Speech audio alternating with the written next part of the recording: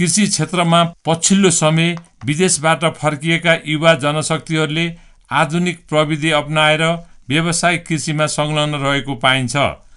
विदेशमा जति समय खटिनुपर्छ त्योभन्दा कम समय खटिँदा पनि स्वदेशमै त्योभन्दा बढी आम्दानी लिन सकिने भएकाले आफू आधुनिक कृषि व्यवसायमा लागेको र आफ्नो पच्चिस रोपनी जग्गामा गणपति कृषि फार्म दर्ता गरी धारदिङ जिल्ला धुनीबेसी नगरपालिका आठ धारदिङमा एक रोपनी जग्गामा दुईवटा हाइटेक टनेल बनाएर गोलमेडा खेती गरेको हाइटेक टनेल बनाउन कृषि ज्ञान केन्द्र धारदिङले अनुदान सहयोग गर्दा आफूमा थप हौसला मिलेको बताउनुहुन्छ युवा व्यवसायी कृषक देवराज आचार्य। आफू दुई वर्ष इजरायलमा गई हप्तामा दुई दिन कलेजमा अध्ययन गर्दै अरू दिन कृषि सम्बन्धी कार्य गर्दै आएको स्वदेश फर्किएपछि इजरायलबाट फर्किएका साथीहरूसँग मिली लमजुङ दुरानामा सामूहिक कृषि गर्दै आएको र पछिल्लो समय धुनी बेसीमा आफ्नो जग्गामा व्यावसायिक कृषि पनि गर्न थालेको कृषक आचार्यले बताए। इजरायलमा कृषिमै सर हाम्रो पढ्ने विषय पनि कृषि नै थियो। अनि हामी दुई दिन चाहिँ हप्तामा कलेज पढ्न जान्थ्यौँ। अनि बाँकी चार दिन चाहिँ फार्ममा दस घन्टा दिनको दस घन्टाको दरले यही हो गोल्ड मेल गर्ने होइन टिप्ने काममै गर्नु पर्थ्यो इजरायलको कृषि र यहाँको कृषिमा फरक के पाउनुभयो? फरक भनेको चाहिँ त्यहाँ चाहिँ सबै मेसिनबाट कृषि हुन्छ। हाम्रो काम भनेको हामी मेसिनको अपरेटर हुन्छौँ। यहाँ चाहिँ हामी सबै चाहिँ लेबरको रूपमा सबै काम चाहिँ हातले बल प्रयोग गरेर काम गर्नु पऱ्यो उहाँ चाहिँ ठुला ठुला फार्ममा पनि फिजिकल वर्क गर्नु पर्दैन मेसिनलाई चाहिँ राम्रोसँग ह्यान्डल गरेर मेसिनलाई अपरेट गऱ्यो भने सबै काम मेसिनले गर्छ बलको काम गर्नु पर्दैन। यहाँ चाहिँ लेबर टाइपको काम भयो कृषि भनेको सबभन्दा गाह्रो काम भयो नेपालमा चाहिँ। नेपालमा। प्रविधि युज कम छ सर। अनि मूल्यहरू चाहिँ उहाँ चाहिँ ठुलो क्षेत्रमा गर्छ राम्रो मूल्य पाउला होइन? यहाँ चाहिँ मूल्य त पाउँदैन त लेबर त्यसरी परिवारलाई सानो सानो स्केलमा काम गर्दा अहिले त मैले अब मेरो कृषिको अनुभवले के भन्न थालेको छु भने नेपालमा कि संसारमा कृषि किसानले कृषिको प्रगति गर्न सक्दैन। कि त्यसमा राज्यले गर्नु पऱ्यो अब इजरायल चाइना जस्तो देशमा राज्यले फुल एफोर्ट लगाएर उसको इनर्जी खर्च गरेर राज्यले गरिदिएको छ। उनीहरूले अपरेट मात्र गर्ने हो। हाम्रो जस्तो देश क्षेत्र यहाँ चाहिँ ब्याङ्किङ सेक्टर कर्पोरेट सेक्टर आएर इन्भेस्टमेन्ट गरिदिएर टेक्नोलोजी ट्रान्सफर गरिदिनु पऱ्यो किसानलाई अनि किसानलाई चाहिँ अपरेटर टाइपको बनाइदिनु पऱ्यो यो यो तपाईँले गर्नुहोस्। यसरी उत्पादन गर्नुहोस्। हामी सेल गरिदिन्छौँ भन्नु पऱ्यो अब यहाँ चाहिँ एउटै किसानले लोनको पनि भारी बोक्नु परेको छ प्रविधिको भारी पनि बोक्नु परेको छ लेबरको भारी पनि बोक्नु परेको छ होइन? तरकारी फलाउने हेडाक आफ्नै ठाउँमा छ त्यसलाई क्वालिटी बनाएर फेरि आफ्टर पोस्ट हार्भेस्टको कुरा उसैले हेडाक लिनु पऱ्यो अनि मार्केटको पनि हेडाक उसैले लिनु पऱ्यो त्यो कारणले गर्दा चाहिँ सबै चिज सानो सानो स्केलमा गरेर किसान किसानै भइरहेको छ उहाँ चाहिँ इन्डस्ट्रियल तरिकाले ठुलो ठुलो फार्महरू हुन्छ। त्यसलाई चाहिने सबै इनपुटहरू चाहिँ राज्यले गरिदिन्छ सेल गर्न पनि राज्यले नै किनिदिन्छ। खरिद गरिदिन्छ अनि त्यसपछि किसानले चाहिँ त्यसलाई प्रपर त्यो रुल्स एन्ड रेगुलेसन फलो मात्र गर्नुपर्छ। त्यो हिसाबले हो। मार्केट त अब कस्टको हिसाबले उनीहरूको कस्ट नै बढी लाग्छ। होइन अब त्यहाँ हामी आज स्टुडेन्ट काम गर्दा पनि अब हामीलाई लगभग आठ नौ डलर दिन्थ्यो पर आवर होइन हाम्रो त्यहाँ लेबर कस्ट पर डे पनि आठ नौ सय छैन भने चाहिँ हाम्रो कस्टै कम भयो। उनीहरूको प्रोडक्सन कस्ट नै बढी छ बढीमा सेल गर्ने स्वाभाविकै हो। त्यो हिसाबले टोटल क्यालकुलेसन गर्दा लगभग लगभग त्यस्तो फ फरक चाहिँ छैन सर क्वालिटीको निकाल्दा। अब यहाँ त चाहिँ इजरायलबाट फर्किएको पनि धेरै नै भयो। म पाँच वर्ष भयो सर। पाँच वर्ष भयो। पाँच वर्षमा नेपालमै गर्छु भनेर लाग्नुभएको छ र कस्तो अनुभव भएछ सफल हुन्छ कि हुँदैन र बाहिर गएर आएका मान्छेहरू अहिले भौँचारिरहेका छन् उनीहरूलाई के सल्लाह दिनुहुन्छ? असफल भन्ने त कृषिमा गर्दै नगरे मात्रै हो सर। यहाँ त तपाईँको पाँच रुपियाँ रोप्यो भने सय रुपियाँ फल्छ कृषिमा। राम्रोसँग गर्नु पऱ्यो यहाँ हामी एउटा चाहिँ एक रुपियाँको दाना रोपेर अब मेरो एउटा टमाटरको बोटबाट म चाहिँ सातदेखि आठ किलो कम्तीमा पनि टिप्छु। पाँच रुपियाँको दाना टिपेर अहिलेकै भाउ गर्ने हो भने त तपाईँको चाहिँ सात किलै टिप्दा चार सय बिस रुपियाँ निस्किन्छ एउटा बोटबाट। होइन? नहुने भन्ने चाहिँ छैन। अब मेन चाहिँ समस्या हाम्रो नेपालमा के भइदियो भने लहरमा काम सुरु गर्ने व्यवसाय सुरु गर्ने एउटाले सुरु गर्यो भने त्यही लहरमा जाने होइन? मेरो चाहिँ केमा पोटेन्सियल छ मलाई के थाहा छ यो कुन सेक्टरमा मैले कसरी कति आइडिया लिनुपर्छ भनेर त्यसको गहिराइमा नगइकन सर्फेसमा कसैले फार्म गरेर चाहिँ टमाटर खेती गरेर पैसा कमाइरहेछ भने सबै झुन्डहरू चाहिँ टमाटर खेतीमा जाने होइन? कसैले बाख्रा पालिरहेछ भने सबैले बाख्रा पाल्न चाहने त्यो हिसाबले बिग्रेको हो। बुझेर राम्रोसँग तालिमहरू लिने होइन? अलिकति काम गर्ने मान्छेहरूसँग बुझेर गर्दा कृषिमा घाटा त छँदै छैन सर। यो त हामीले पहिले बुढापाकाले पनि भन्नुहुन्थ्यो नि मानु रोपेर चाहिँ मुरी फलाउने भनेको उत्पादनमा त घाटा छँदै नै छैन। तर त्यसलाई व्यवस्थित रूपमा ज्ञान लिएर प्रविधि प्रयोग गरेर अहिले चाहिँ सकेको लेबरलाई कस्टलाई कम गर्नु पर्यो होइन? सब धेरै चाहिँ उत्पादन वृद्धि गर्नु पर्यो होइन? बजारमा राम्रो चिज पठाएर राम्रो दाम लिनु पर्यो। यही टमाटर पनि अब बजारमा चाहिँ पचास रुपियाँ किलो पनि पाइन्छ। यही टमाटर बजारमा एक सय बिस रुपियाँ किलो पनि पर्छ। टमाटर त आखिर टमाटरै हो। होइन? त्यो हिसाबले जानुपर्छ कमर्सियल फार्म गर्ने।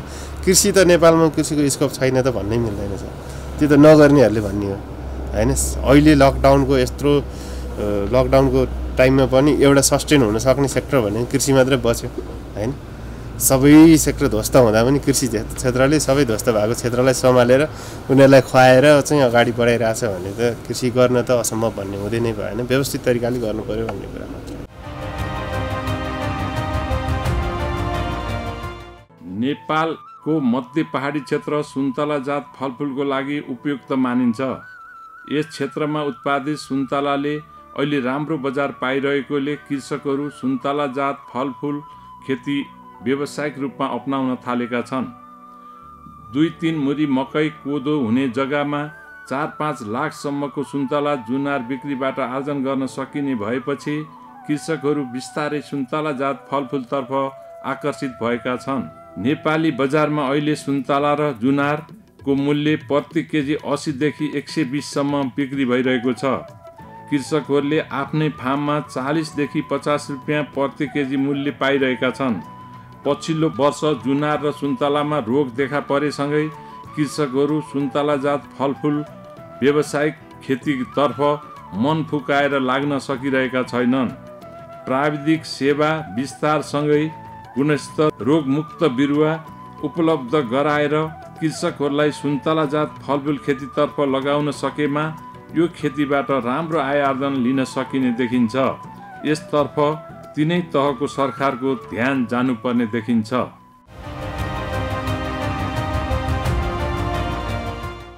नेपालमा तरकारी खेती व्यावसायिक रूपमा जति गर्नुपर्ने थियो त्यति हुन सकेको छैन। तर पनि केही वर्षदेखि काठमाडौँलाई तरकारीको माग पुरा गर्ने लक्ष्यका साथ धारदिङ नौबिसे धार्केका युवा कृषकहरू लागि परिरहेका छन्। यसको उदाहरणको रूपमा धुनीबेसी नगरपालिका साथ जामुने डाँडाका कृषक विद्युत भट्टराईलाई लिन सकिन्छ। आफ्नो बाह्र रोपनी र वार्षिक पन्ध्र हजार भाडामा चार रोपनी लिएर सोह्र रोपनीमा तरकारी खेती गरिरहेका छन् उनले। अहिले उनले अठार हजार काउली लगाएर बिक्री वितरण गरिरहेका छन्। उनीसँगै यस ठाउँमा तरकारी लगाउने थुप्रै छन्।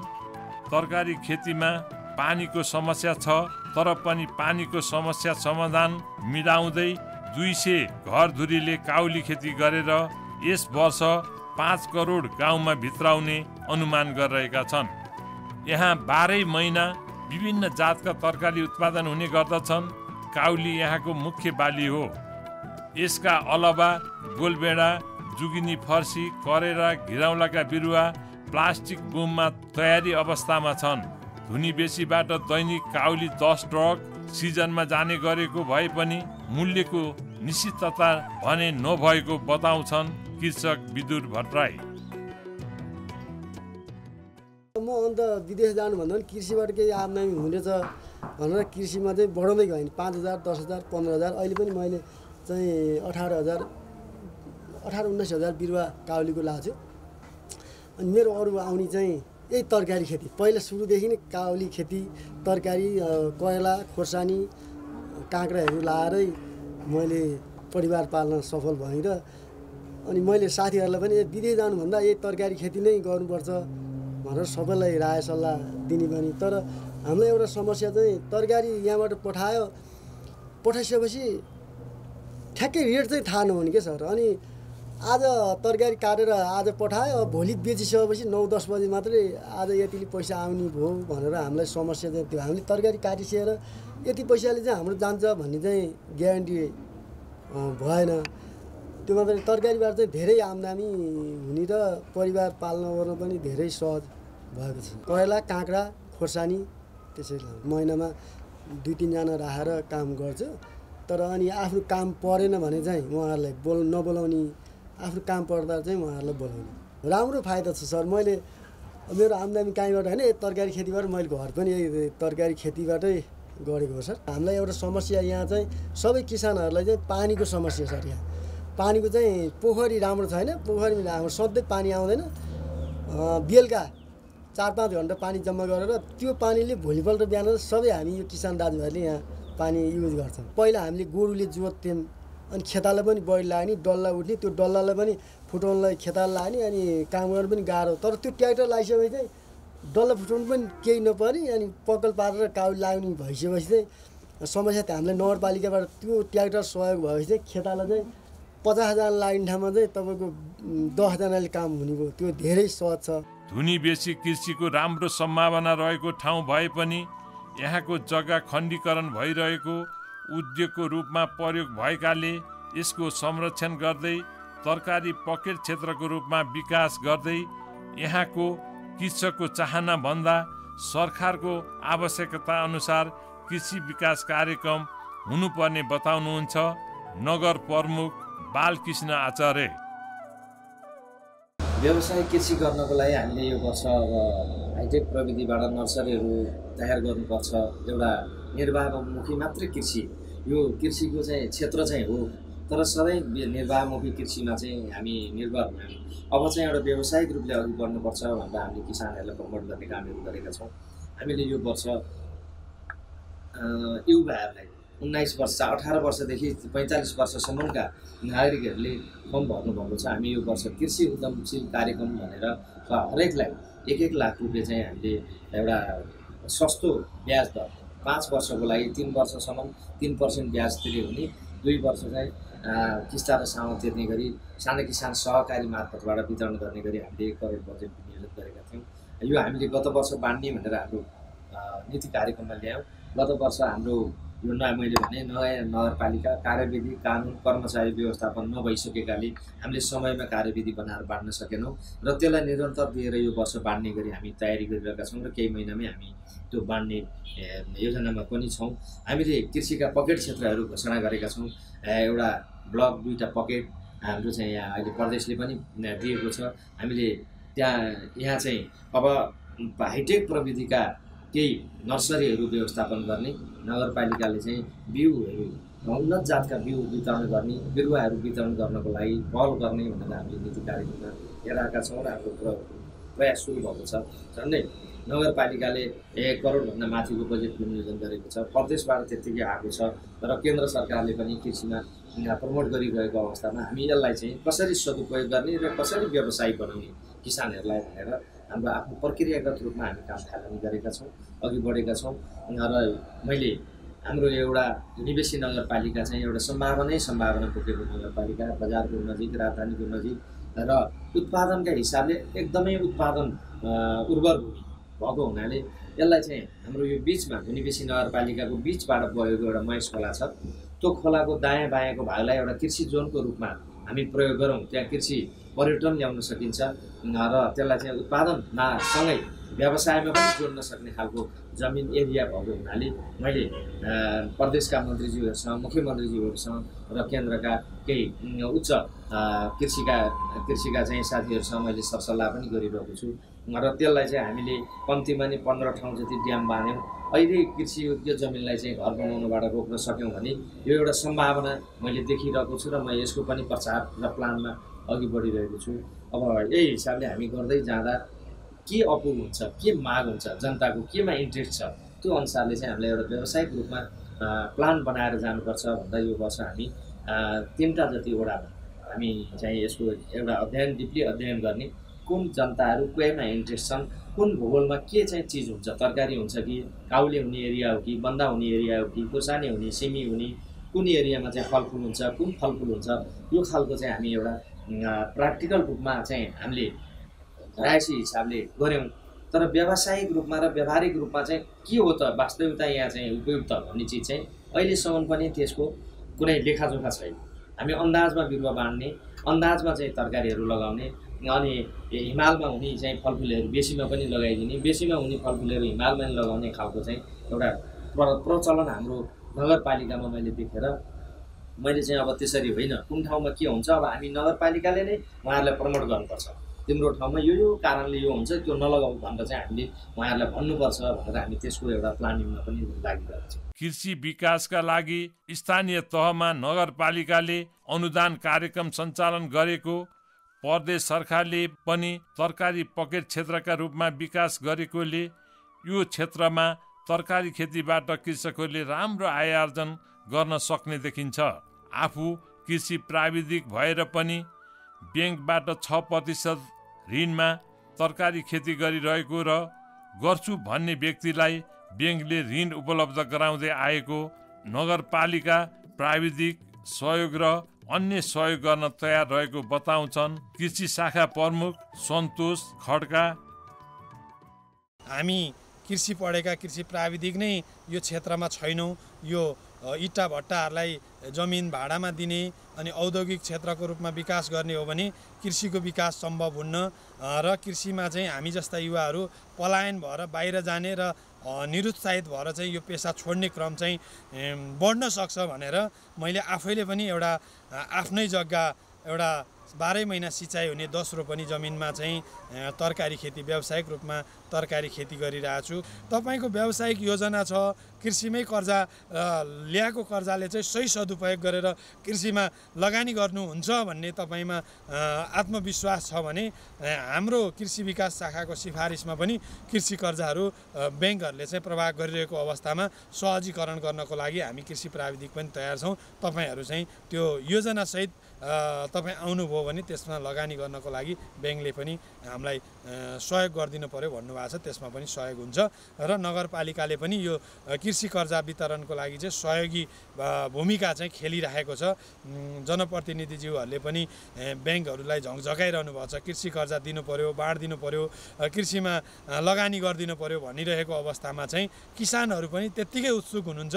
अहिले प्रमुख गरेर चाहिँ कृषिमा चाहिँ अब दस वर्षपछि चाहिँ व्यावसायिक कृषि गर्ने व्यक्तिको चाहिँ ठुलो महत्त्व रहन्छ जस्तो लाग्छ अब अबको दस वर्षपछि। त्यसले गर्दाखेरि पनि अबको भविष्यलाई हेरेर अबको पुस्तालाई जेनेरेसनलाई चाहिँ कृषिमा चाहिँ लगानी गरियो भने सुरक्षित भइन्छ र व्यवसायबाट कृषि व्यवसायबाट पनि नाफा हुन्छ। भन्ने किसिमको एउटा मनसि मानसिकता चाहिँ विकास गर्न सक्ने अवस्था अहिले बिस्तारै युवा पिँढी हामी जस्तो किसानहरू हामी जस्तो एउटा उमेरका युवाहरू चाहिँ यो कृषिमा चाहिँ बृहत रूपमा व्यापक रूपमा लाग्नुभएको करिब करिब छ सयजनाभन्दा बढी हाम्रो नगरपालिकाभित्र युवा उद्यमी किसानहरू पनि हुनुहुन्छ। उहाँहरूले पनि धेरै टेवा पुर्याइरहनु भएको छ र यही कृषिको माध्यमबाट चाहिँ अबको व्यवसाय कृषि भनेको चाहिँ व्यवसाय हो एउटा भन्न सक्ने एउटा आधार चाहिँ हाम्रा युवा किसानहरूले चाहिँ तयार गर्दै हुनुहुन्छ। त्यो हाम्रो प्लेटफर्ममा चाहिँ एउटा रोल क्रममा चाहिँ हामी कृषि प्राविधिकहरूले चाहिँ अब मोनिटरिङ गरिदिने जुन हेरिदिने सल्लाह सुझाव दिने प्राविधिक सेवा टेवा दिने जसले गर्दाखेरि उहाँहरूलाई त्यसप्रति अझ हौसला बढ्ने बढाउने काम चाहिँ हामी हाम्रो नगरपालिकाबाट पनि गरिरहेछौँ भने म आफै कृषि एउटा उदाहरण बन्नुपर्छ भनेर आफै पनि कृषिमा लागिरहेको अवस्था छ।